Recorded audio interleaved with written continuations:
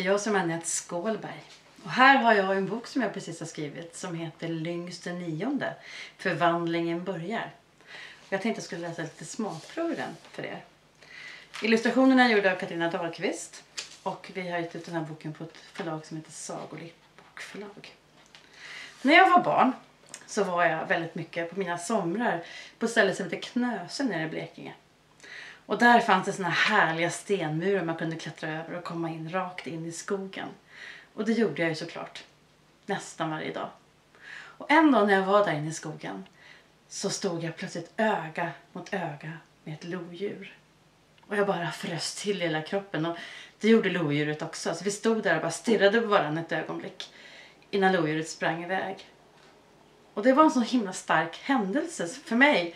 Så bar jag med mig det här resten av mitt liv faktiskt. Så att det har på något vis varit grunden, känslan i det, till den här historien som jag sen har byggt vidare i. Och nu ska jag läsa lite från början av den boken så ni får höra hur den är. Lo, det är jag. Och nu ska jag berätta min historia för dig. Min historia när jag föddes för andra gången. Det var under mitt trettonde år som det hände. Och egentligen vet jag inte vad det berodde på. Hela hösten hade mamma tjatat om att jag måste börja med någonting. Någon kampsport eller friidrott eller varför inte gå och simma? Helst hade mamma velat att jag skulle gå en självförsvarskurs. Men jag gillade ju inte ens att träna. Jag gillade inte att vara fysisk. Jag avskydde idrotten i skolan. Så varför skulle jag börja på någonting sånt på min fritid? Det kunde hon ju glömma. Hur många konflikter som helst hade vi haft om det här. Och för varje gång så blev jag bara argare och argare och argare. Lo! kunde mamma ropa så det ekade genom hela lägenheten. Lo, ska du med ut och springa?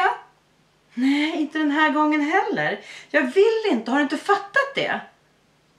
Jag blev så arg, jag blev trött på allt tjat. Jag kände mig som en dålig människa som inte orkade göra allt det som mamma tyckte jag skulle göra. Som hon ville inspirera mig till att göra. För att jag skulle hålla mig i form som hon sa. Det är viktigt att börja med bra träning när du är barn och tonåring för då kommer du klara dig bra som vuxen sen. Så gick hon på. Mamma menade ju bara väl. Sen Ellen och Soran, mina bästa vänner, hade blivit överfallna i skogen när de var på väg hem. En av dem till och med på dagtid.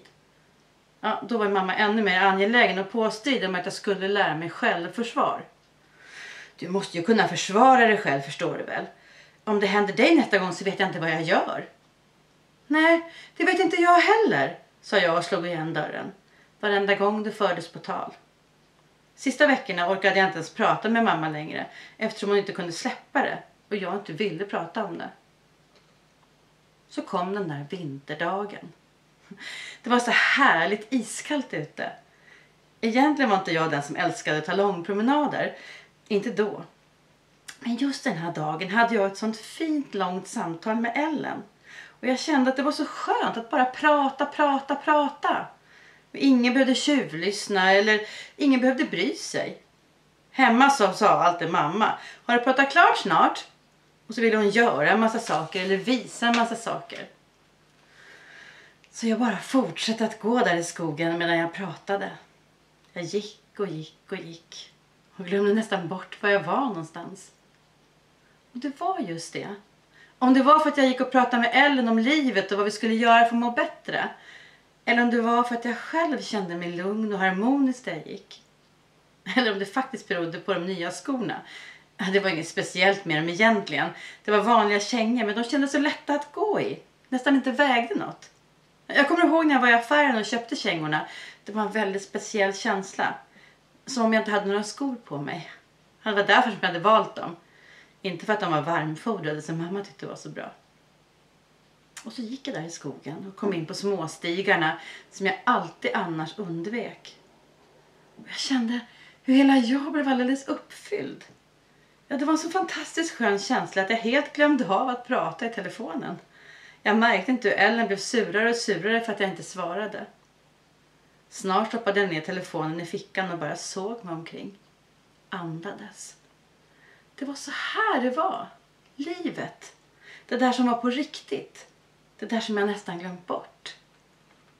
Jag hatade skogen. Hade aldrig tyckt om att gå omkring bland träden. Hade mest varit rädd för alla insekter och allt gegg. Men nu var jag där. Inte bara i skogen utan på småstigarna där det var fullt med snö att funka ner i. Och det är svårt att förklara. Men jag kände hur hela skogen togs in i mig och nästan blandades med mitt blod. Det var till och med svårt att förklara för mig själv när jag stod där. Så jag bara stirrade framför mig och tänkte att jag måste nog gå hem. Fick lite svårt att andas. Jag fick inte bara svårt att andas utan kände att om jag inte gick hem snart så visste jag faktiskt inte vad som skulle kunna hända.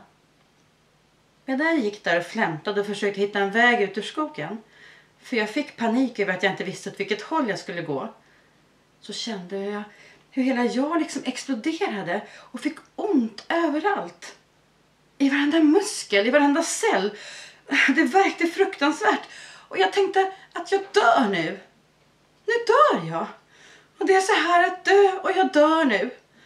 Det här är det sista ögonblicket i mitt liv och jag har inte ens hunnit säga förlåt till mamma. För innan jag gick ut så hade jag bråkat med henne. Och det här är inte meningen. Det här är inte meningen att det ska bli så här. Varför? var det sista jag tänkte. Det sista jag kom ihåg att jag tänkte. För efter det blev det svart. Fullständigt svart.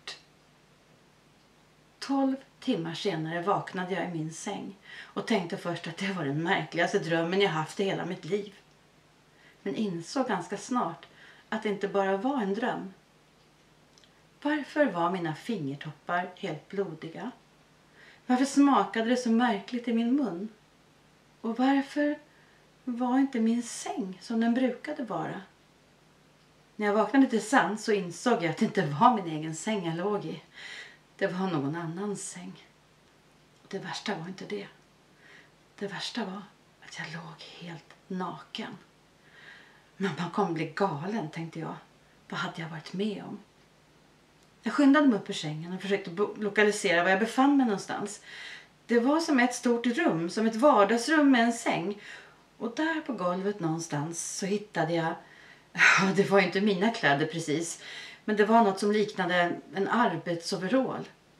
Jag gled snabbt ner i den och skyndade ut från huset. Jag visste inte var jag var någonstans eller vart jag skulle ta vägen. Men jag ville hur som helst inte vara kvar i en främlings hem. När jag kom ut på gatan så var det natt. Och plötsligt kände jag mig helt förvirrad. Var befann jag mig någonstans? Och vad hade hänt? Och vart hade all tiden tagit vägen? Jag sjönk ihop på trottoarkanten och började gråta. Jag grät och grät. Men så tänkte jag att här kan jag inte sitta och gråta, det hjälper ju inte. Jag måste hitta någon som kan hjälpa mig att hitta hem. Så när en kvinna med barnen kom gående tänkte jag att kvinnan kan ju inte vara ond i alla fall för hon är ändå en mamma. Hon har ett barn med sig. Jag vet. Om det hade varit en skräckfilm jag varit med i så hade ju hon varit ond. Men jag måste ju försöka hitta någon lösning. Därför skyndade jag fram till henne och frågade om jag kunde få låna en telefon för att någonting förfärligt hade hänt. Kvinnan stirrade på mig och tog fram sin mobiltelefon medan hon inte kunde släppa blicken från mitt ansikte. Hon såg helt förfärad ut. Jag vet, tänkte jag. Jag är säkert blodig överallt. Jag vet och förlåt för det. Men hjälp mig snälla. Jag tog emot telefonen och slog snabbt numret till mamma. Mamma, jag vet inte var jag är någonstans. Jag har vaknat på en främmande plats och jag har blodiga fingrar. Jag visste det skulle hända, sa mamma och blev tyst. Sen började hon gråta. Som det skulle hjälpa mig. Ja, svarade jag. Kan du inte komma och hämta mig så jag får komma hem? Jag vet ju inte var jag är. Så gav jag telefonen till kvinnan och hörde hur hon började prata med mamma. Snart fick mamma klart för sig exakt var jag befann mig. Och det dröjde inte många minuter, ja på sin höjd en halvtimme, innan jag satt där bredvid mamma i framsätet och stirrade framför mig ut mot vägen. Rakt ut genom framrutan. Mammas tårar rann ner för hennes ansikte. Jag svalde och svalde. Tänkte inte bli ledsen. Men jag blev väldigt rädd när mamma reagerade som hon gjorde. Kommer du inte ihåg någonting som hände? undrade mamma. Jag ruskade på huvudet. Absolut ingenting. Mamma klappade mig över benet och lugnade sig. Så sänkte hon rösten som om hon var rädd att någon skulle höra henne. Eh, har det hänt något med dina händer, Lo? Hon lät plötsligt väldigt allvarlig. Skrämmande allvarlig. Jag såg ner på mina händer och vred runt på dem. Jo, det var väl det att de var alldeles skrapiga och blodiga då, men ingenting annat. Jag satte precis ner dem i mitt knä när jag såg något. På ovansidan av handen, just där fingrarna börjar, satt en liten hög med hårstrån. Jag hade inte lagt märke till dem om inte mamma hade frågat, för de var så små. Men det speciella med dem var att det var blandat svarta och orange strån om vartannat. Och jag var blond. Mamma gav mig inte en blick. Såg inte mot mina händer ens en gång. Och ändå visste hon vad det var jag flämtade över. Du kan bleka dem sen. Du kommer knappt att märka det. Men försök inte raka bort dem för då blir de genast dubbelt så många. Det är värre med ansiktet. Men jag har hårborttagningsmedel hemma. Jag hjälper dig. Vad menade mamma? Vadå ansiktet? Jag vek ner spegeln från solskyddet och stirrade förfärat mot min spegelbild. Inte konstigt att kvinnan med barnvagnen sett så rädd ut. Här och där i ansiktet fanns små fläckar av hår, samma som på händerna. I orange och svart, samlade i små högar. Jag blev verkligen rädd. Jag var på väg att fråga mamma om hur hon kunde veta allt det här när det plötsligt högg till i kroppen på mig. Det kändes som om någon sköt en glödgande het stålpinne genom hela min kropp och jag kunde inte hålla tillbaka ett vrål. Mamma tvärstannade bilen och tog tag i mina händer. Andas, Lo. Andas. Annars kommer smärtan bara bli värre. I fem minuter varade kramperna och smärtan. Några minuter senare när mamma börjat köra igen somnade jag. Det var alldeles för mycket intryck och händelser på så kort tid. Medan jag sov så kunde jag känna mammas hand över min. Och det kändes nästan som om hon klappade över mina hårstrån på handen. Och det var första kapitlet ur boken Lyngs den nionde förvandlingen börjar. Och den här boken finns ute på marknaden nu. Det här var ett litet smakprov.